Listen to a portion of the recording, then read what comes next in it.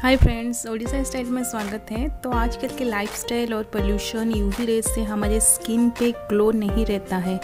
Dryness uneven skin tone blemishes ये सारे problem common हो गया है। अगर आपको ऐसे ही प्रॉब्लम होते हैं तो ये वीडियो आपके लिए बहुत ही हेल्पफुल रहेगा तो लास्ट तक ज़रूर देखिए। और अगर आप मेरी चैनल में न्यू है तो ओडिशा स्टाइल को ज़रूर सब्सक्राइब कर दीजिए। तो चलिए वीडियो स्टार्ट करते हैं।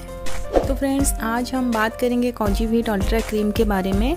ये क्रीम 30 ग्राम के ट्यूब पैक में आता है, इसका प्राइस है फाइव फिफ्टी रुपीज़। इस क्रीम के यूज़ से blemishes hyper pigmentation dark spot un uneven skin tone dryness जैसे प्रॉब्लम ठीक हो सकता है। क्योंकि इसमें जो भी इंग्रेडिएंट्स है, वो सारे स्किन सेफ़ और स्किन के लिए बहुत ही अच्छा इंग्रेडिएंट्स माना जाता है और स्किन को ग्लोइंग और सॉफ्ट करने के लिए हेल्प करेगा।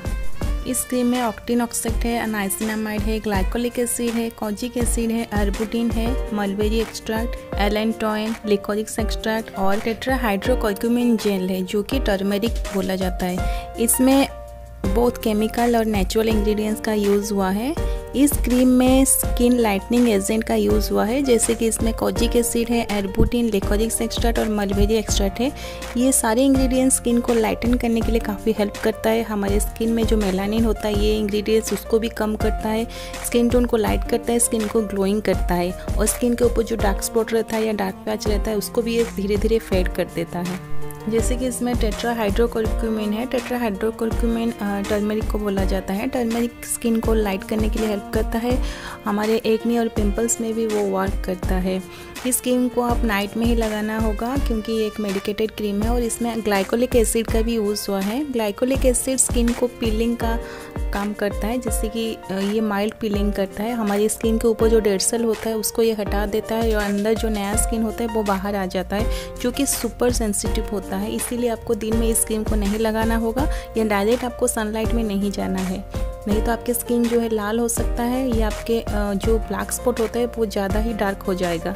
आपको दिन में कम से कम एस पी फिफ्टी वाला एक अच्छा सा सनस्क्रीन लगाना पड़ेगा और एक अच्छे ब्रांड का मॉइस्चराइजर हमेशा आपको दिन में दो बार आपको लगाना होगा ताकि आपकी स्किन जो है पीलिंग की वजह से जो ड्राइनेस होता है वो आपके स्किन को अच्छे से सॉफ्ट करके रखेगा।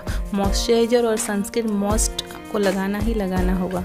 इस क्रीम को आपको दो से तीन महीना कंटिन्यू यूज़ करना होगा क्योंकि आपको एक अच्छा रिज़ल्ट के लिए आपको आपके पास पेशेंस होना चाहिए दो से तीन महीने तक।